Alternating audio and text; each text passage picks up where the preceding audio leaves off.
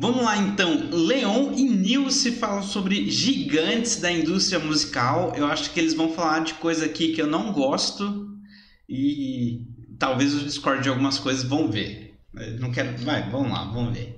Seguinte, a ah. Isabela vive me falando da Taylor Swift. E... Ó, vou, vou falar o seguinte: se você é fã de Taylor Swift e é sensível contra críticas, já sai do vídeo. Sério, na real, assim, já, já sai do vídeo, que eu, eu não vou conseguir amenizar muita coisa. Mas vamos lá, se você gosta de discórdia, vamos continuar.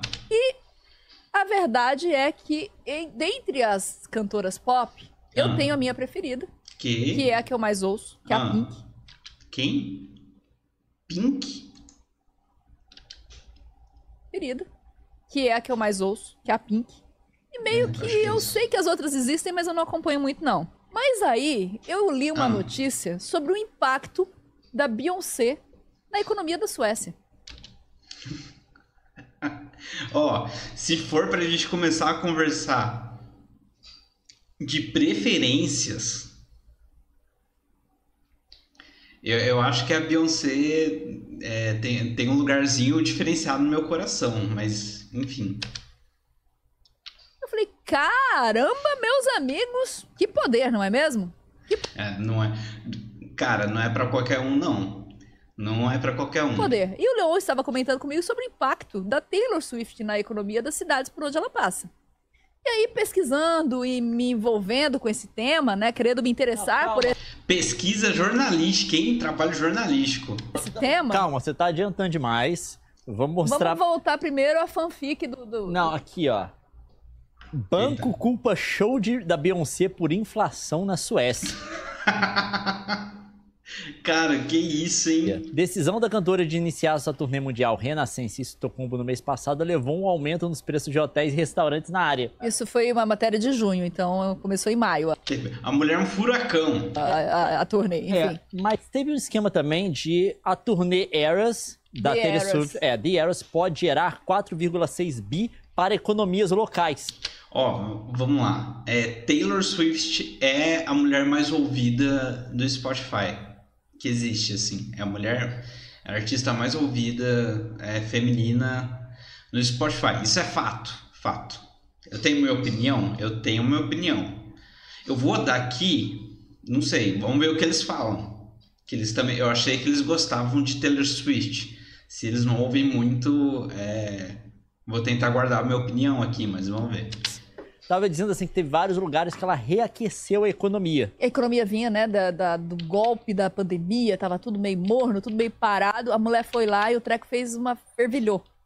Exato. O que que acontece? É porque... O que que acontece, Leon? A galera ainda está sofrendo efeitos da pandemia, né? Sim. Porque apesar de todo mundo estar tá saindo, dois anos sem a galera sair, você perde muitos hábitos de sair, né? Você só sai se tiver um motivo muito bom. Você costuma em casa, né, gente? O sofá adquire a forma do seu corpo, você não vai sair.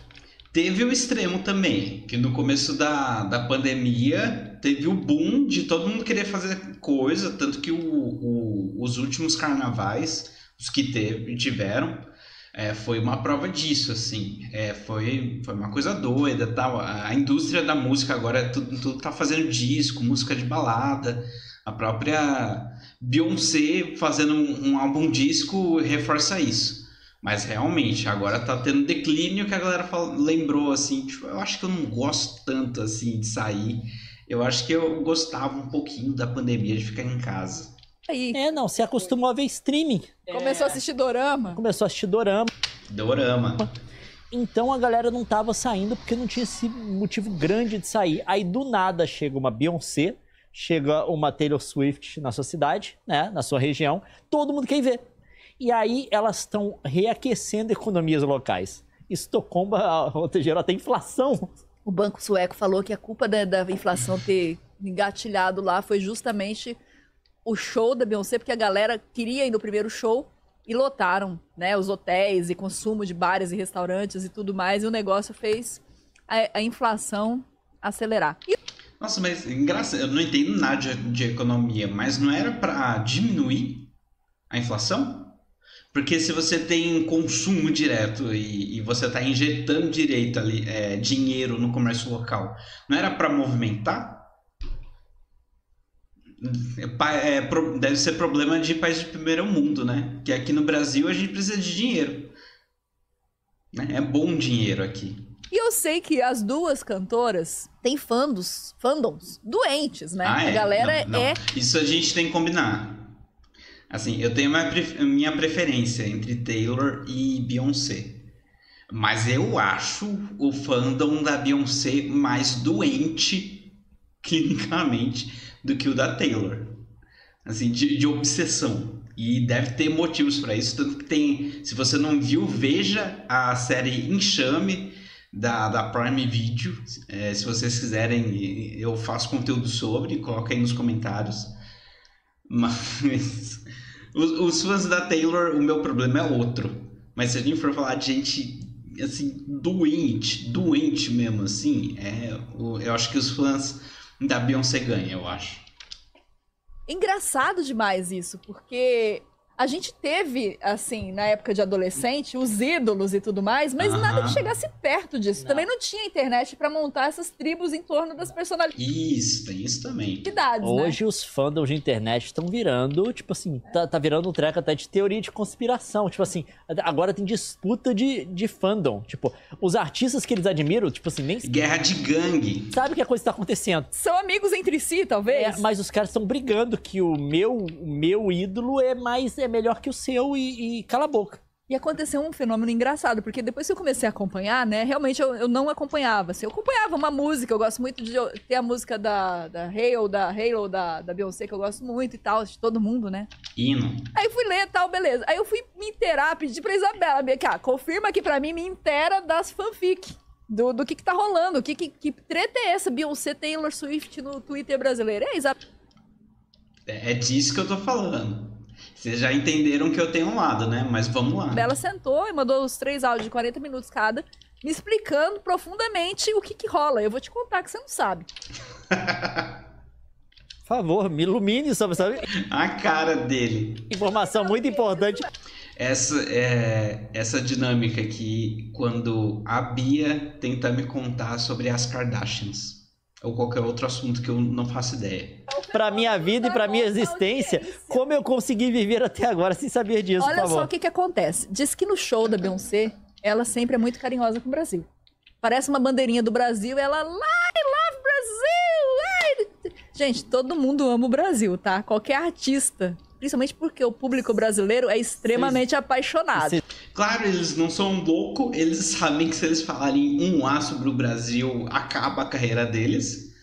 Isso daí todo mundo sabe também, então. Eles lotam um show e eles ganham muito dinheiro. E, tipo assim, o público brasileiro é realmente caloroso. É. É, canta, dança, né? Não é, isso não é normal nos outros lugares do mundo, tá? Você vai num show de canadense, fora de brincadeira. Todo a gente mundo... até mostrou o vídeo aqui, que a gente foi num show em Montreal. E tava todo mundo assim, olhando o cantor, só a mãe do Leon dançando. a brasileira, né? Latina. No meio de toda a multidão. Então, é, assim. Não, eu vi até, mas é verdade do brasileiro, eu vi até o Post Malone falando de show no Rio de Janeiro que lá é diferente, porque na América do Norte você encontra muitas vezes, principalmente quando você vai em festival e coisa do tipo, que você tá tocando com um monte de artistas, né? Que a galera não foi lá especificamente para te ver, o povo fica meio frio e coisa do tipo e tal. Só que no Brasil é todo mundo alucinado o tempo inteiro. É, eu, claro que eles retribuem. E aí a Beyoncé retribuía e falava, né? Aquela coisa, ah, I love Brasil e tal. E ela tá lá na, na turnê Renascença dela.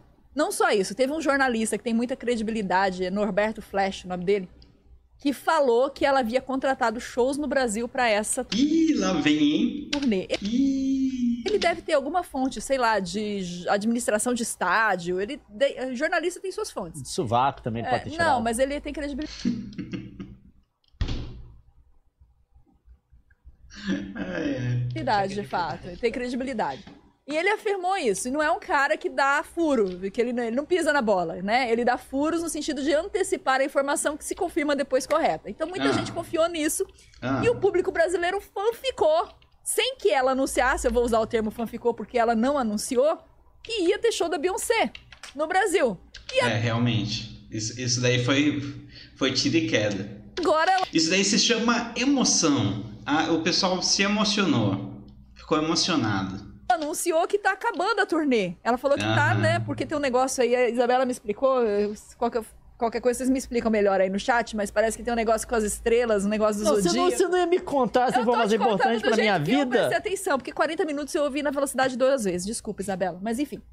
Acabou a turnê. Ela anunciou o fim da turnê. Sim. Aí o povo falou, e o Brasil? Porque Sim. a galera fez na cabeça mil expectativas de que a Beyoncé iria para o Brasil agora. O fandom criou uma teoria de conspiração. E aí, Mas 72 horas. o jornalista insistiu, botou um post Já já, já já a Beyoncé confirma, hein? É só um teste pros verdadeiros. Vai todo mundo na frente do Allianz Parque. Porque daí vão prender a, a Taylor Swift. E na verdade vai vir a Beyoncé. Mas a gente só precisa de mais 72 horas para confirmar essa informação. É verdade. Tô no grupo exclusivo lá do Telegram, da, da Beyoncé. Poxa, agora eu mandei até o link pra você desse post dele, se você quiser abrir. Não. Não, tá. Ele Não insistiu, acredito, esse jornalista acredito. insistiu na postagem dele de que a Beyoncé vai para o Brasil em 2024, que ela tá terminando a turnê agora, porque, né, Natal, Dia da Ação de Graças, fim de ano e tudo mais, mas que em 2024 ela iria pra América. Mas tudo, gente, ó, vamos lá. É tudo isso é muita emoção, gente. Calma, por quê? O, o Kendrick, por exemplo, que eu vou, eu vou lá ver o Kendrick. Ele teve o álbum novo ano passado, fez a turnê mundial, terminou a turnê mundial e nada do Brasil. Daí, o que acontece? A turnê é um show pensado exclusivamente para divulgar o álbum. Isso não significa que depois ele não vai fazer mais nenhum show. Tipo, acabou, fechou a fábrica. Pode ser também.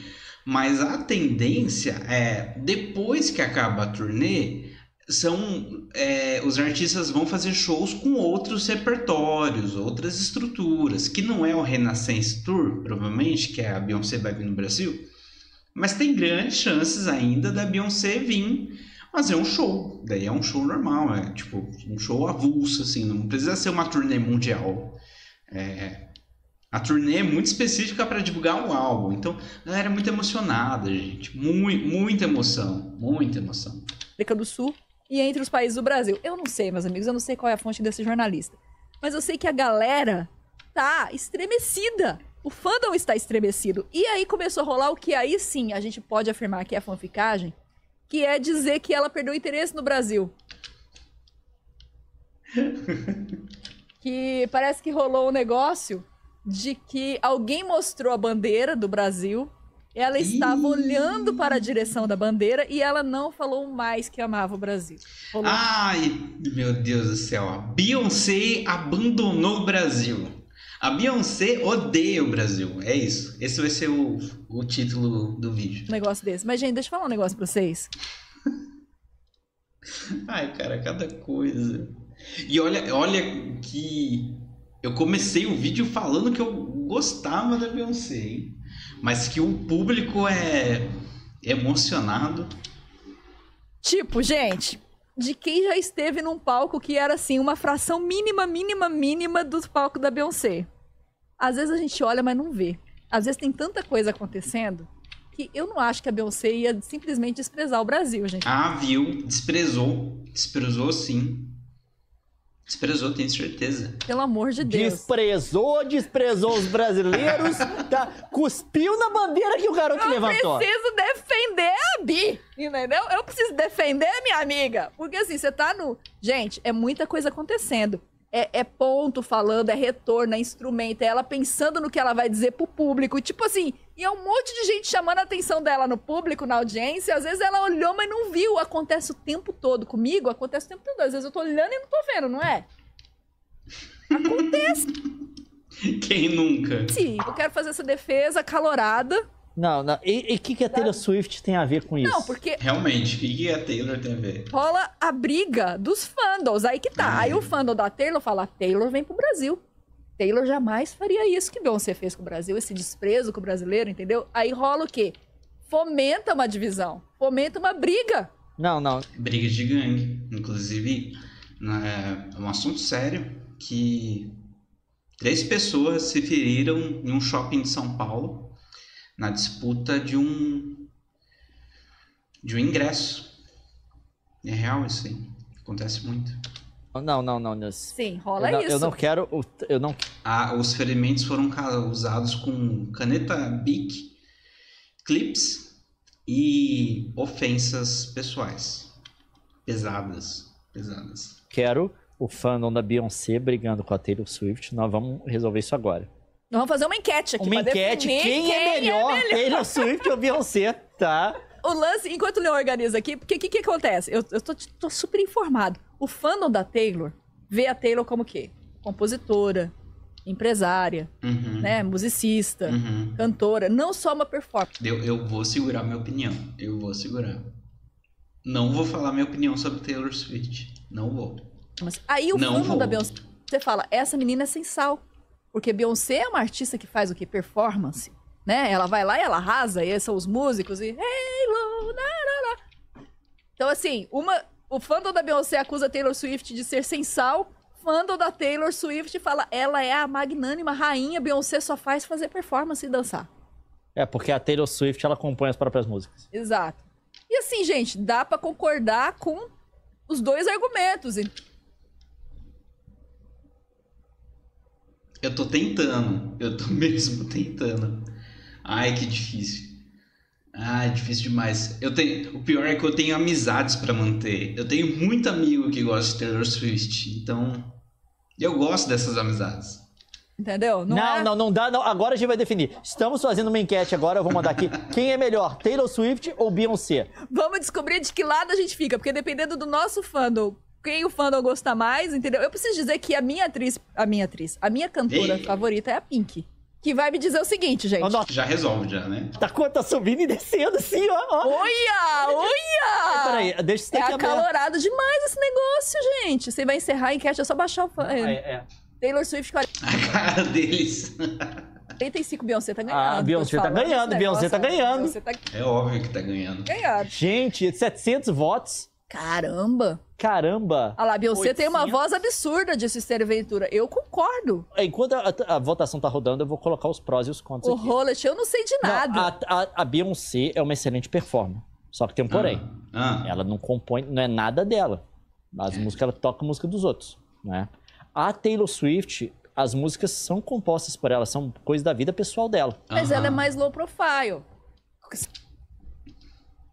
Que uma bilionária poderia ser, né? Como uma bilionária no nível Não de só, não, vamos colocar outra coisa, outro crédito aqui. Vamos comparar o crédito das duas aqui, né? Gente, a gente ama as duas, tá? Eu não quero hate aqui da- do fandom de um e fandom Ah. da outra, não. Ah. Quem tá falando são vocês no, no A chat. gente só tá Vocês escolhendo a melhor aqui porque a gente não quer briga. Não, a gente não quer briga. Mesmo Porque assim, a minha Eu não vou. Eu acho que eu não posso dar minha opinião aqui.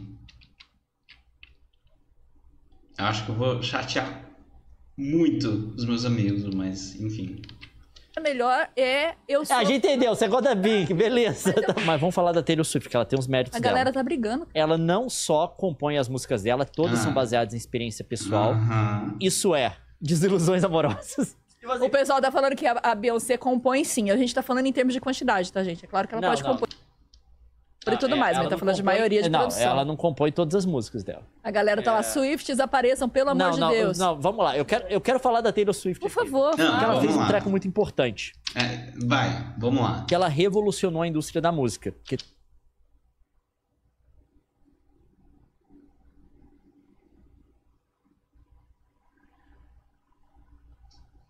Vamos, vamos lá. teve todo aquele problema dos direitos autorais com os primeiros álbuns dela, que ela perdeu o direito das gravações, tentou Não, tem que comprar, não explicar vendeu. melhor esse negócio aqui. Tá, beleza. Ela ia comprar. Aí o povo não vendeu pra ela. Vendeu e Isabela me falou dela. que vendeu pra um cara com, a- com, quem ela tinha inimizade. Eu não sabia dessa, desse bafão, que tinha uma inimizade, rolava uma antipatia. Os caras venderam. Isso foi uma sacanagem É, muito grande. Isso acontece, Passamos justiça. isso acontece na indústria fonográfica, que é um artista que está despontando, ela era jovem, 15 anos que ela começou, se eu não me engano, assina um contrato que é muito ruim para o artista, mas é a chance de despontar. A gravadora basicamente fica com direito de tudo, né?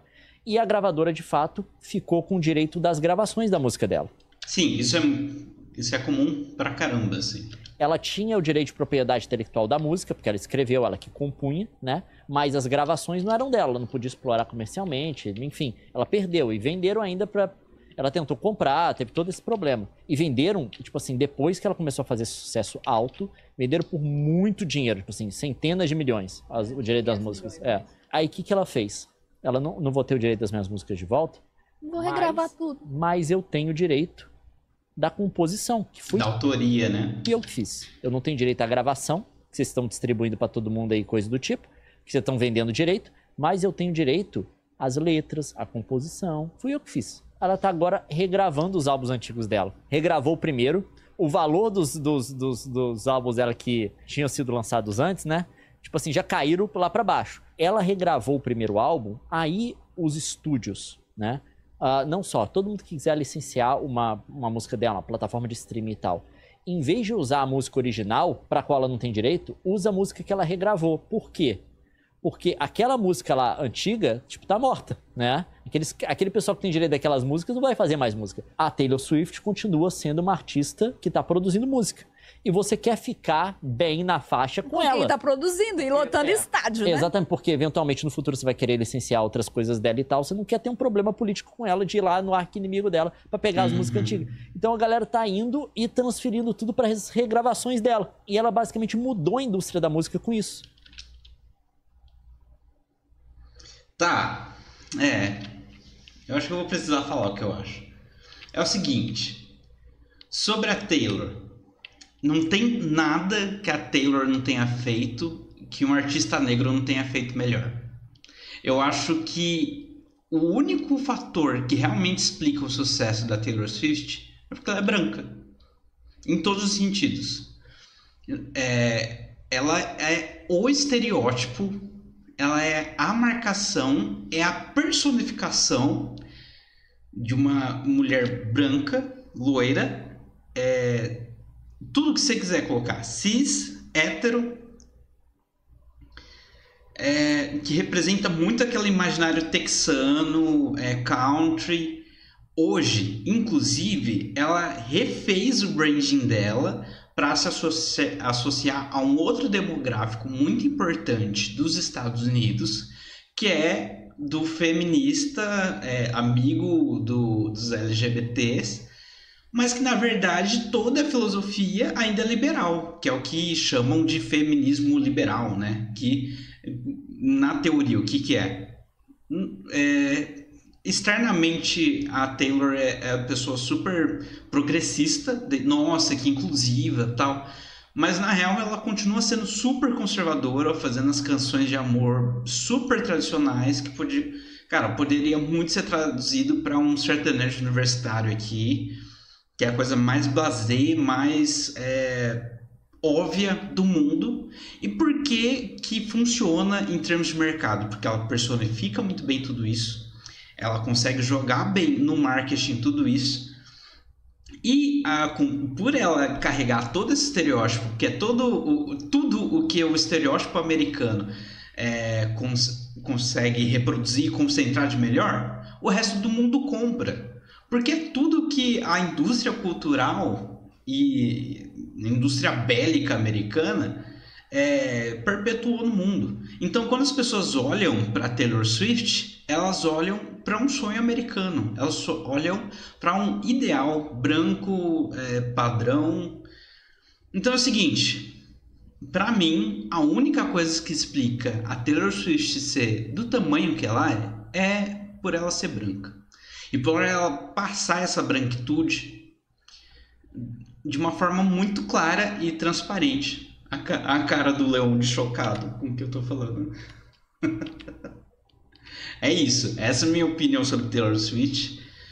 É, se, você é um amigo, amigo meu pessoal, viu isso aqui e tá ofendido, me manda, me manda direct, a gente conversa, tá bom?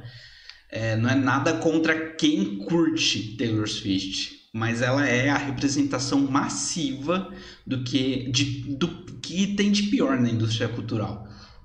Vão lá, vão lá para as coisas que ela fez é, e que o, artistas negros fizeram melhor. Que, é, toda essa questão altera, autoral, vão pesquisar o, o como que o Frank Ocean fez o lançamento do seu álbum Blonde lá em 2016. Cara, foi o Blonde foi muito mais esperto. e com uma. Primeiro, que ele leu o contrato que ele assinou, né? Vamos combinar? Ele leu o contrato que ele assinou e o jeito que ele saiu do contrato foi muito mais genial. Foi muito mais revolucionário. E antes da Taylor se engraçar. Então, ter essa ideia revolucionária, assim, não, então vou fazer um negócio aqui. Então, esse checkmate essa luta contra a indústria, o Frank Ocean fez com muito mais classe, com muito mais elegância e antes da Taylor. É, a questão de composição. Pô, é, eu poderia ficar comparando a Taylor e a Beyoncé, mas não vou fazer isso. Mas tem diversos é, artistas negros que não só fazem a própria composição, mas faz a produção, captação, toca instrumento e faz a performance, compõe, faz tudo, faz tudo. E a gente não fala disso. A gente não fala de como o Prince, por exemplo, foi um dos artistas mais geniais que existiram na face da Terra, porque ele tinha um controle criativo de absolutamente tudo. Todo instrumento que se ouvia no álbum tinha uma mão dele. Daí você vai ficar. Na moral, você vai ficar falando que Taylor Swift revolucionou. Ah, pelo amor de Deus. Assim, é, eu me sinto desrespeitado como ser humano. Como músico. Você falar que alguém do calibre da Taylor Swift revolucionou a indústria. Não fez. Cara, vou repetir. Não teve nada que a Taylor Swift não fez que um artista negro não tenha feito melhor. Nada. Nada.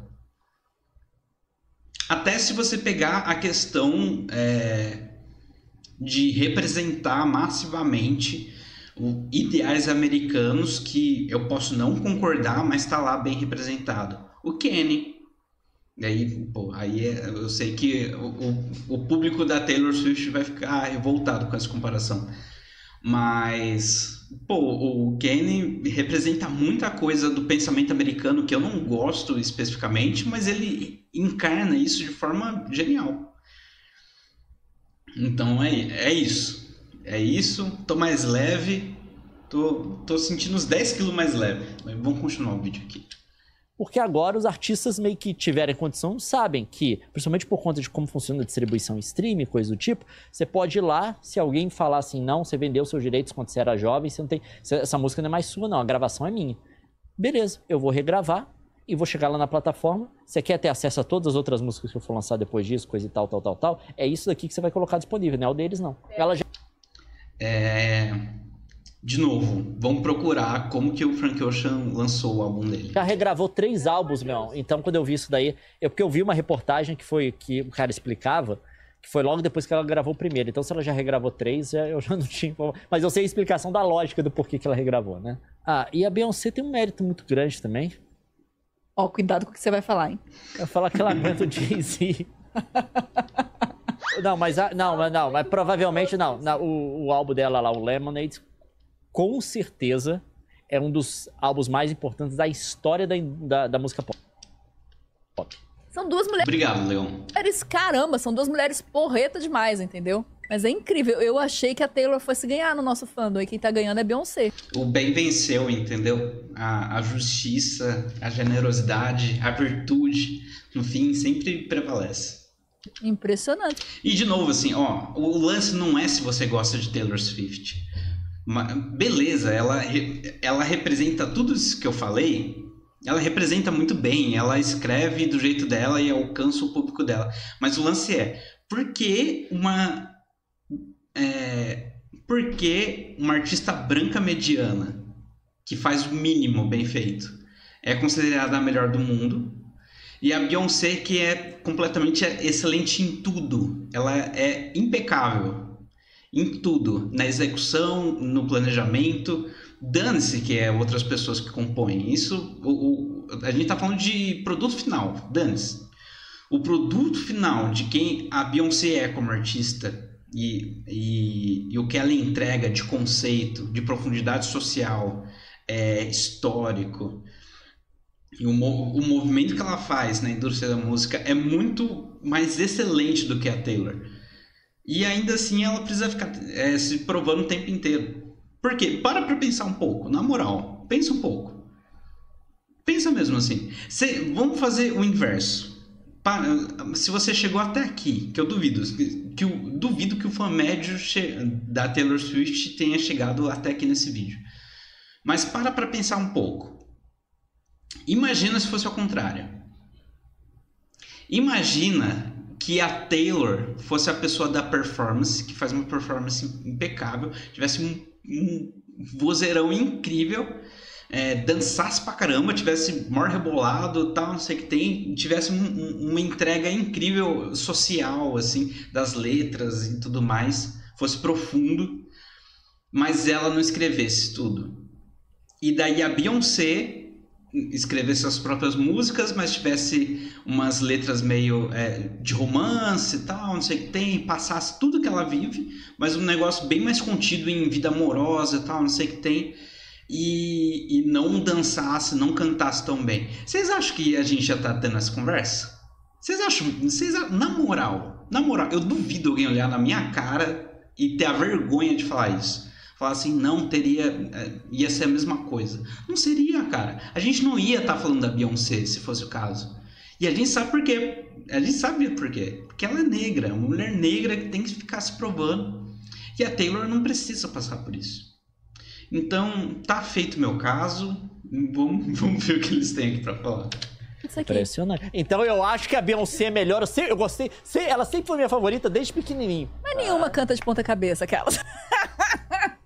Madonna é melhor que todas juntas. Na verdade, a Madonna é inspiradora vou de falar, todas a Madonna elas, foi né? que começou, tá? Cara, eu vi muito pouco Madonna, pra ser bem honesto assim. É, a Madonna é quem mãe de cri- todas. Não, vamos lá. Quem criou o modelo da musa pop contemporânea, basicamente foi a Madonna da década de 80 e 90. Todas essas musa pops que vieram depois, elas em algum Bebem aspecto bebem na fonte da Madonna. Ah, em termos de mercado, sem dúvida. Seja estética, seja pra. Tipo, a Lady Gaga, musicalmente, tem muito paralelo. E né? esteticamente também. Esteticamente também. Não, todas são. Todas têm alguma coisa, sabe?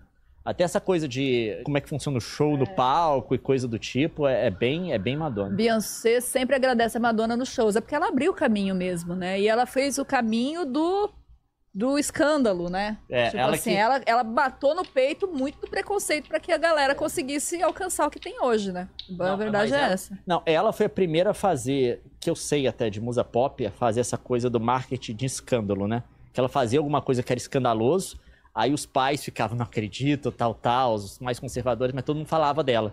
E ela ficava popular. Você vê a vez quando ela foi cantar Like a Virgin na televisão, foi, foi uma. Foi, uma, escândalo. foi um escândalo. Uma cara. afronta à família tradicional americana.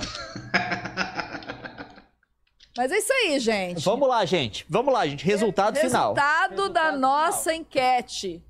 Taylor Swift versus Beyoncé. Quem é melhor? Cara, foi uma diferença de 10 pontos percentuais. Beyoncé, 54%. Taylor Swift, Olha. 45%. Agora, Nossa, os caras têm público, hein? Engajar 3 mil pessoas numa enquetezinha de live. Oh, graças a gente, todas as Acabou brigas toda acabaram. exceção, todo mundo já É, sabe. a gente já sabe quem é melhor. Pronto, É acabou. Não tem acabou. mais briga agora de nada mundo, tá? Resolvemos o problema. tá bom. Gente, chega, né? É isso, acabou. Problema resolvido. É... Bora pro próximo. Chega, não quero mais falar disso.